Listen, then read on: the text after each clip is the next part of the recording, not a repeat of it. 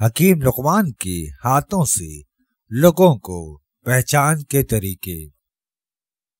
जिसके हाथ की रगें उभरी हो तो समझ जाओ, उसका दिमाग नाकिस तरीन है। जिस बंदे के हाथ मोटे हो तो समझ जाओ, वो अकल का कमज़ोर और अकल का थोड़ा है। जिस बंदे के हाथ काले हों तो समझ जाओ, वो आदमी जहीन तरीन है। और मेहनत कश बनता है।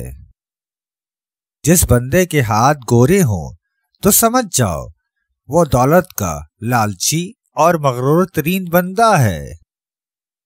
जिस बंदे के हाथों के नाखून बड़े हुए हों तो समझ जाओ, वो औरतों में ज़्यादा दिलचस्पी रखता है।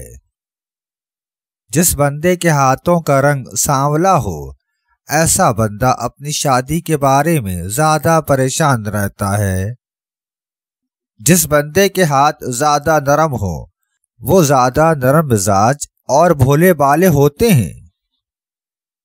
जिस बंदे के हाथ सख्त हों, वो ज़्यादा मेहनत कश और दूसरों के लिए जीने वाले होते हैं।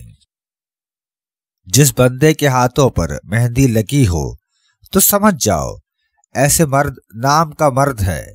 उसमें सिफत औरतों वाली होती है। जिस बंदों के हाथों पर बाल हो तो समझ जाओ, उसमें मर्दाना ताकत आम मर्दों की नस्बत ज़्यादा होती है। जिस बंदे के हाथों पर बाल नहीं होते, ऐसे मर्दों की मर्दाना ताकत बहुत ही कम होती है। जिस बंदे के हाथों के नाखून पीले जर्द हों तो समझ जाओ, ऐसे बंदे बुरे और सियाहकार होते हैं।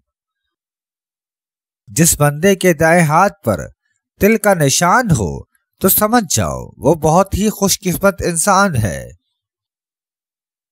जिस बंदे के बाएँ हाथ पर तिल का निशान हो तो समझ जाओ, वो बदकिस्मत इंसान है। उसकी किस्मत में दौलत कम आती है।